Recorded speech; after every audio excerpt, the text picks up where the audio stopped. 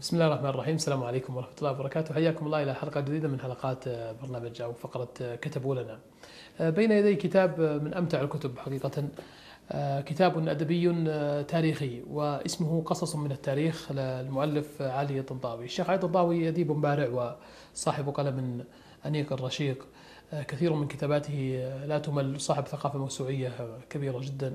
ولعلنا نستعرض إن شاء الله كتابه العظيم الذكريات. ويتحدث عن نفسه فيقول إنني منذ أن كان عمري عشر سنوات حتى اليوم. يتحدث وهو عمره في بحر السبعين أو الثمانين. أنه يقرأ كل يوم ست إلى سبع إلى ثمان ساعات أحيانا يوميا. يعني فكان يحسب بالساعات ثم بالصفحات كم قرأ. ويقول عن نفسه أنه أوتي ذاكرة تستحضر و تعرف ما يقرأ بعض الناس يقرأ لكنه يتناسى أو ينسى أو لا تدخل المعلومة بشكل جيد إلى عقله ولا يستطيع تحليلها.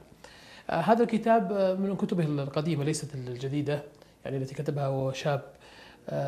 فكرة الكتاب أنه يعمد إلى قصة تاريخية في بطون كتب التاريخ فيستخلص من هذه القصة أو من وحي هذه القصة الصغيرة قصة كاملة هي أدبية يزيد فيها وينقص ويصور بقلم الأدبي الجو العام للقصة. طبعا فتكون في النهاية قصة يعني ليست حقيقية وإنما القصة الحقيقية سطر أو سطرين أحيانا تكون عبارة عن عشر كلمات استوحى منها هذه القصة. مثلا على سبيل المثال قصة أهل سمرقند لما طلبوا من الوالي الذي كان يليهم طلبوا منها ان يخرج لأنهم لأن المسلمين دخلوا بطريقة غير غير شرعية كما يقول القاضي أو كما يقول أهل سمرقند.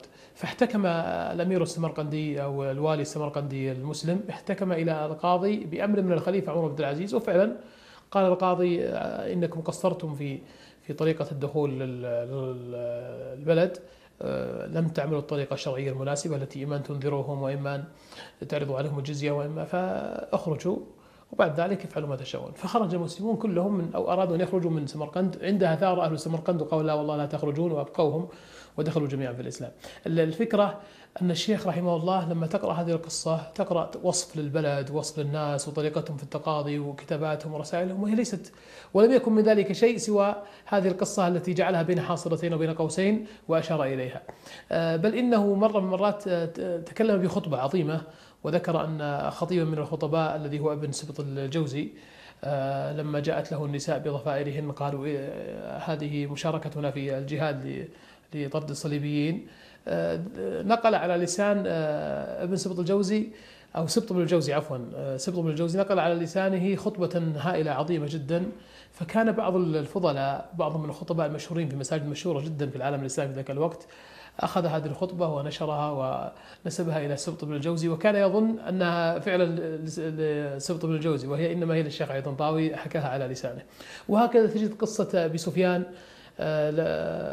مع ابنه زياد بن أبي سفيان الذي ادعاه بقطع النظر عن صحة هذا الأمر، الشيخ علي طنطاوي أخذ سطرين فقط من من مجيء زياد بن أبيه إلى عمر بن الخطاب وقول ابي سفيان لعلي رضي الله عنه إن هذا ابني فأخذ يحكي قصة قديمة لأبي سفيان وكيف انه ذهب للطائف وكيف التقى بسميه وهكذا من من عجائب هذه القصص. وهكذا في قصة المغيرة بن شعبة مع هند بنت النعمان بن المنذر وقصص أخرى كثيرة جدا. قصة فروخ من أجمل وأمتع القصص التي ذكرت قصة فروخ الذي هو أبو عبد الرحمن والد ربيعه بن عبد الرحمن الفقيه المشهور الإمام المدني الشهير ذكر قصته وكيف تزوج بزوجته ثم ذهب إلى الجهاد وفي النهاية هو لم يأخذ إلا سطرا أو سطرين من وفيات العيال بن خلكان حكى ونسج على منوال هذه القصة والتي انتشرت للأسف عند كثير من الناس حتى ظنوا أنها يعني هي القصة الأصلية ثابتة فأخذوا يزيدوا ينقلونها ويكتبونها ويوثقونها وهي من من إنشاء الشيخ رحمه الله إلا أنه استوحاها من وحي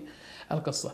وهكذا يعني تجد يعني مجموعة كبيرة من من القصص سواء كانت من القصص القديمة في صدر الإسلام أو أو من القصص المحدثة في القرن السابع أو الثامن أو ما بعد ذلك. وأيضا تجد فيها في آخرها ذكر مسرحيات. حتى إن بعض المسرحيات ذكرها قبل أن تشتهر مسرحيات السيرة النبوية والتي ألفها بعض المشاهير والأدباء. وكلها منشورة يعني هذا الجميل لتوثيق لتوثيق أقدمية المؤلف رحمه الله على غيره أنها أغلبها منشورة في الرسالة. المجلة التي كان يكتب فيها الشيخ رحمه الله ثم جمعها في في هذا الكتاب. وتعجب الحقيقة من هذه القدرة السلسة على أن تأخذ قصة تاريخية ثم تحيك حولها من الأنسجة ومن المواقف ومن ظلال الموقف ومن خيالات عجيبة جدا حتى كأنها تكون قصة حقيقية. وهذه الفكرة فعلها كثير من المؤلفين. فعلها نجيب الكيلاني مثلا كثيرا وفعلها مجموعة من علي باكثير طبعا يعني قد يكون من أكثر الناس الذين فعلوا هذا في مسرحياته. لكن الشيخ رحمه الله أسلوبه مميز حتى إنك لربما تظن أن هذه القصة الحقيقية التي حصلت وهي مجرد نسيج من وحي من وحي أديب على قصة تاريخية. ميزتها ان فيها أدب وفيها إطلالة يسير على التاريخ وتحبب التاريخ للمتأدبين. وأيضا من كان يحب التاريخ فإن تحبب إليه الأدب والقراءة. الأدبية فيضرب بين لسان عصفورين لا أقول بحجر واحد بل بقراءة واحدة أو بكتاب واحد. إذا هذا كتابنا قصص من التاريخ للشيخ علي الطنطاوي. يلتقيكم في حلقة قادمة بإذن الله عز وجل. وأنتم على خير. السلام عليكم ورحمة الله وبركاته.